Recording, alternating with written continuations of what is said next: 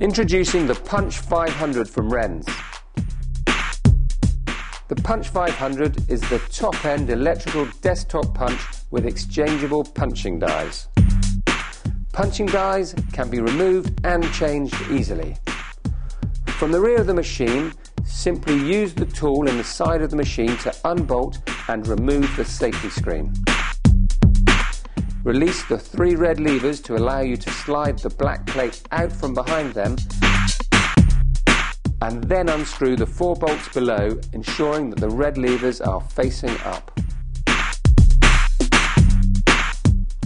The die is now ready to be removed. Load a new die by placing the two halves side by side and pulling the top sections up to hook into place.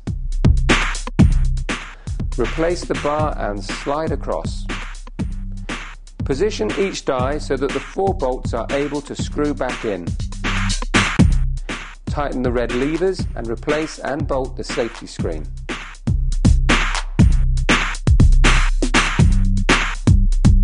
Then to begin punching, remove the safety screen to allow you access to the punch pins.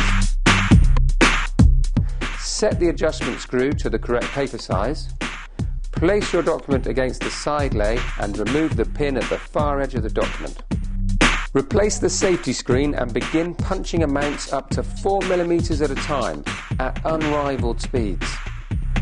The standard punching die is a two-part die, which also has a thumb cut, allowing you to punch both standard block documents and calendars. Rapid, high volume punching with the Punch 500 from Renz.